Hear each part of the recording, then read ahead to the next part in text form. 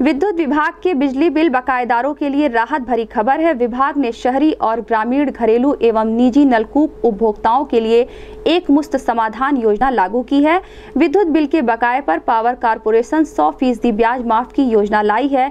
इससे भी अच्छी खबर है कि ग्राहकों के मोबाइल पर जिनके कॉन्टैक्ट नंबर बिजली विभाग में रजिस्टर्ड हैं, उन्हें उनकी बिल पर माफ़ी की राशि मैसेज के माध्यम से भेज दिया जा रहा है। इस तकनीक से ग्राहक किसी भी बिचौलिए के बहकावे में आने से बच जाएँगे।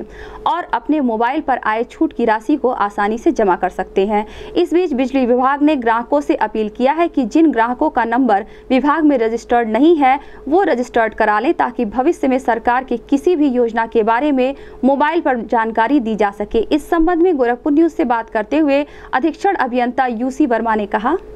सर, आज जो इस समय गवर्नमेंट के सरचार ब्याज माफ़ी योजना चल रही है कईयों के मोबाइल पर ये मैसेज पहुँच रहा है कि आपका इतना बिल माफ़ हो रहा है। तो सर किस किस को पहुँच रहा है और क्या क्या?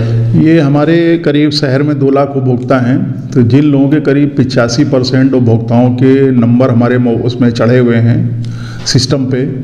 बाकी जो बचे हैं अगर वो सिस्टम पे अपने मोबाइल नंबर जो भी करंट मोबाइल नंबर अपडेट करा देते हैं वहाँ पर तो गवर्नमेंट की जो भी स्कीम है, वो सबके मैसेज उनको पहुँचा करेंगे, आगे भी। इसके अलावा एक और सुविधा जल्दी जुड़ने वाली है, अगर उनके क्षेत्र में शटडाउन कोई हो रहा है या ब्रेकडाउन हो रहा है, बिजली किसी कारण फेल हो रही है तो उसका भी मैसेज पहुंचेगा। तो लोग सबसे अनुरोध है कि अपना जो भी करंट मोबाइल नंबर है, वो कनेक्शन के अगेंस्ट वहाँ पे अपडेट करा दे। डिवीज़न में हर जगह पे हो रहा है ये।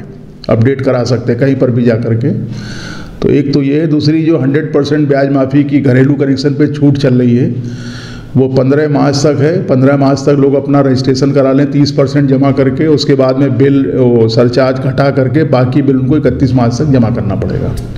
तो वो स्कीम चल रही है सब जगह इस समय।